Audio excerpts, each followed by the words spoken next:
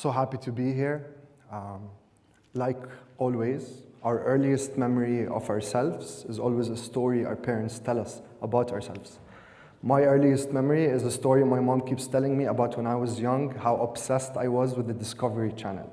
I would just spend all my time watching animals and watching all sorts of wildlife on TV. Now that kind of started my passion for biology, but that passion or the Discovery Channel was not enough. Something, had, something bigger had to happen after that. I was lucky that my biology teacher in school, Mr. Bassam, spotted that passion in me as a young kid, and he fueled it 10 times over. He used to take me to the lab to learn all about microscopes, and he would show me cells and show me animals, and that kind of fueled my passion even more for biology. Now, you would imagine after being so passionate about biology, I found myself going into uh, medicine. And inside my, inside my experience during my medical school, I started caring more about the brain, but more so about mental health. After I graduated from medical school, I started working with children on the autism spectrum and working with adults that have anxiety. I spent most of my time starting, trying to understand mental health and understand its impact on people's lives. Now, this is where things started to come together. I started realizing that my passion for biology and my love for biology was actually helping me and understand mental health on a deeper level. My passion for biology was always giving me insight and ideas on how I can actually help my patients even more. And that started my journey as an adult. I started creating a company, an organization that its main goal would be to bring biology, bring concepts in biology, and teach people how the concepts in biology or the concepts in neuroscience can reshape people's understanding of mental health. And that's what I do right now. I teach organizations and I teach universities and I work with corporations. And I usually bring that science, these novel ideas in science, in biology particularly, and I try to see how these ideas can reshape the way we see our own mental health. And that has been my journey for the most part. And I believe today what I want to do, what I aim to do, is present to you five ideas from biology. Five ideas from modern science and biology that I believe if you take the time to understand or conceptualize or look at, those ideas have the power to reshape your own understanding of mental health. So I would like to start the journey. Each topic is a huge topic, so we're not going to spend most of our time on each topic, but I'd rather give you the core issues, the core concepts in each biological point, and see how that could translate to shaping or reshaping your own understanding of mental health. Concept number one immunology, your immune system. You will never look at your mental health the same way if you knew about the relationship between your mental health and the immune system. Now, modern psychiatry and modern research spends a lot of its time working and structuring its research on what could go wrong in mental health. What could go wrong in mental health? That is studying negative psychological experiences and how these negative psychological experiences have negative biological consequences. We all know when somebody is experiencing a negative psychological experience for a, a, prolonged period of time, the body, the mind starts releasing these stress hormones, these stress chemicals, and these stress chemicals have been studied and proven to increase inflammation in the body, to increase atherosclerosis and heart disease, to increase even or decrease even the life expectancy of people. Now, we all know about that. We all know that stress and, and, and chronic anxiety and chronic depression has negative biological impact. But only recently, researchers and biologists have been shaping and shifting their attention from negative psychological experiences into positive psychological experiences. And it is only in our understanding of positive psychological experiences that we are able to understand positive psychology in a new light. Now, most people think that positivity is some trend on social media. But what I'm trying to say is that positivity is a trend in biochemistry itself that when you are experiencing positive emotions, you are also bringing a positive biological impact to your body. So in one of the very interesting researches I read, they put people in a laughing uh, kind of meditation. They were laughing for four hours in an experiment. And after four hours of laughing, they realized that a natural killer cell, a cell in the immune system in the body, started to be elevated. The same thing happened when people went into deep meditation and breathing. Suddenly, CD4 cells, cells that are very essential in fighting infection, started to increase in their levels. While the most fascinating one is maybe awe and wonder. It's the same thing you feel when you look at the Grand Canyon, or when you watch a great TED Talk, or when you meet a stranger for the first time. Wonder is a feeling, a positive feeling, a positive psychological feeling that can affect our cells. And here it decreases interleukin 6, which is a pro inflammatory cytokine. Two, another idea in biology that I think if you took the time to understand it, you would also reshape your understanding of mental health itself. We already know that the human brain is made out of the simple building blocks, which are the neurons. The neurons conglomerate together to form large networks, and those large networks in themselves execute the functions of the brain. So there is no really one location in the brain that does all the functions, but rather it is a group of networks that are arranged in different specific arrangements that execute different functions at different uh, levels of the brain, right? And from understanding that, uh, we can understand that now we know that in mental health, one specific network in the brain is extremely interesting for people who are trying to study mental health. That specific network is a network in the brain that connects two different parts of the brain. The first part is the amygdala. You can see it in red. That part of the brain is really responsible for um, heightened responses in fear, in stress, in anger while the blue part in the frontal cortex is a region in the brain responsible for more hierarchical, higher levels of brain function. So concentration, planning, emotional regulation. Now, what's interesting about the connection between these two um, uh, different locations in the brain is that these two have an interesting dynamic between them one of them influences the behavior of the other. If the amygdala fires, the other one sh shuts down or lowers down, and if the other one starts firing, the other one calms down and slows down. So what is interesting about that, and if you knew that, you would really begin to realize how important it is to learn about our emotions and to learn about how our brain processes emotions and how we can learn things like meditation and self-regulation and how that can really alter the structure of our brain. Another idea that is interesting in mental health, an idea that I think if you knew about it, it would also reshape your understanding, is epigenetics. Epigenetics explains an agency that is bigger than just our genes. It explains how we have one DNA sequence present in all the cells, but we have more than 200 different types of cells. So that means that we have one DNA, but the expression of that DNA is different in each every, and every cell. But epigenetics also explains a more interesting phenomena, like the phenomena of monozygotic or identical twins. What happens with identical twins is that identical twins share the same 100% the same DNA when, they, when fertilization happens. So these are two babies that at the beginning of their journey, they share the same 100% the same DNA sequence, yet Epigenetics explains how each and every one of those kids would grow up to be completely different than the other. Epigenetics is an idea that explains how life interactions and our early experiences in life shape and structure our personalities as much as our genes do.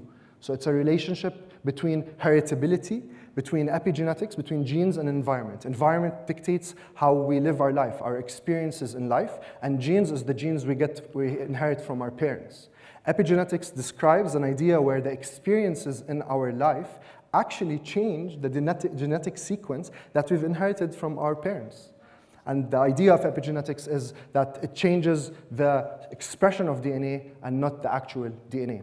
So in recent studies, mental health experts started to focus on the idea of epigenetics, and we found out that early childhood experiences, early adversity in childhood, actually changes, an epigenetic signal changes the DNA of children. And what we found out is that early childhood adversity, like density, housing problems, noise, and violence, and poverty, and war, actually changed the DNA of kids into creating a more inflamed state into adulthood, and creating addiction portfolios into adulthood, and of course, creating personality disorders.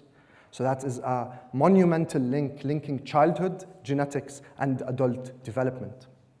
But it's not just in that sense, the sense where the actual epigenetic changes that happen through early childhood adversity not, don't only just change the genetic sequence or the genetic expression of the sequence, but they also change the structure of the brain. In the graph behind me, you can see how three different levels of the brain volume, the volume of the brain change when the income of the family changes. And in the lowest graph, you can see how the low social economical standards or poor families, children suffer with lower brain volume, which is a emotional concept or scary concept because now we see how poverty can really affect the brain structures of children as they grow up and as they develop. So that is one way how biology can reshape our understanding of mental health diseases. The fourth concept of how science or biology, when you learn it, it can reshape how you feel about your own mental health is the gut flora, or the bacteria living in our digestive system. Now, to make it easy, we already know that the brain connection between uh, the, the connection between our brain and our guts is very evident. Actually, we have a nervous system called the enteric nervous system, and it's a whole system of 500 million nerve fibers connecting the brain with the gut. Now, we already knew that, but for some reason, we've excluded the bacteria living inside those uh, inside our gut. And in, uh, in, in long, long ago, we excluded those bacteria because we thought that they had no impact on the brain because the brain had the uh, blood-brain barrier and it would not allow substances to go in. But recent studies had found out that these bacteria actually are changing the permeability of the blood-brain barrier and interacting with your brain. Now, for you, an interesting fact, for every human cell you have in your body, there is a bacteria living inside you. So you have as much bacteria living inside you as much as there are cells that compromise you.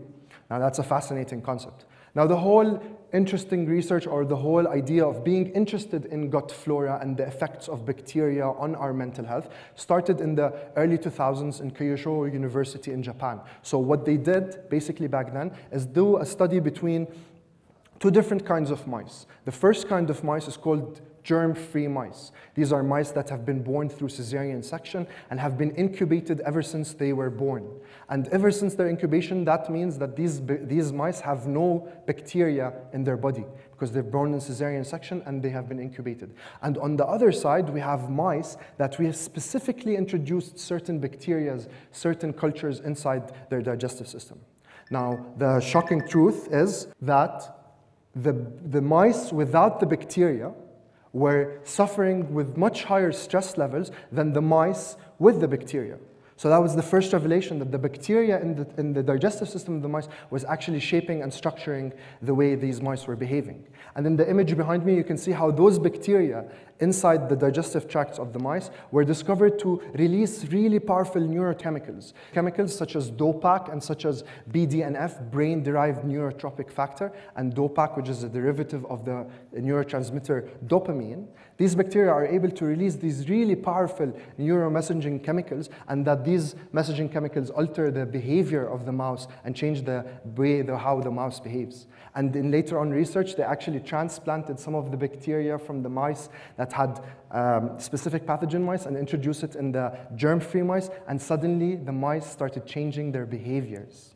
And that's a fascinating concept to think about. Now, all of the, what I've told you about has only been research tried on mice but never on humans. But recently, there was a huge and beautiful study, and it was the first study to really study the bacterial colonies and the effects of bacteria on mental health in humans. And in this research, uh, 1,054 individuals were enrolled into the study, and what they found out across the board from the study, that all the people that were suffering from depression in the study, all of them consistently showed lower levels of these two pathogens mentioned above, the Coprococcus in general.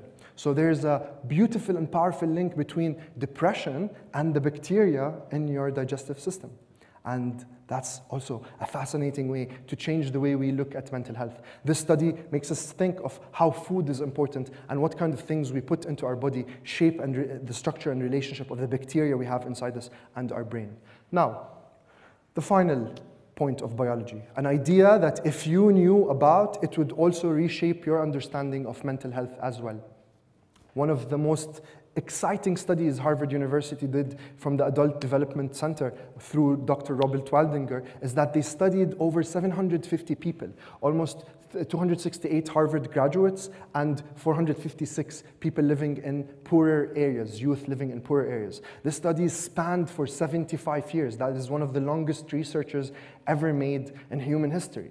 And actually, John F. Kennedy, one of the American presidents, was part of this study. So what they did in this study is basically follow these young group of men living in Boston and track them to deep into their adulthood. And we carried and we, uh, they measured all sorts of information, their height, their length, their salaries, where they lived, how they lived, their relationships with their wives, what they ate, their cholesterol level, their blood pressure, all sorts of data and huge amounts of data were collected on these kids growing up into adulthood.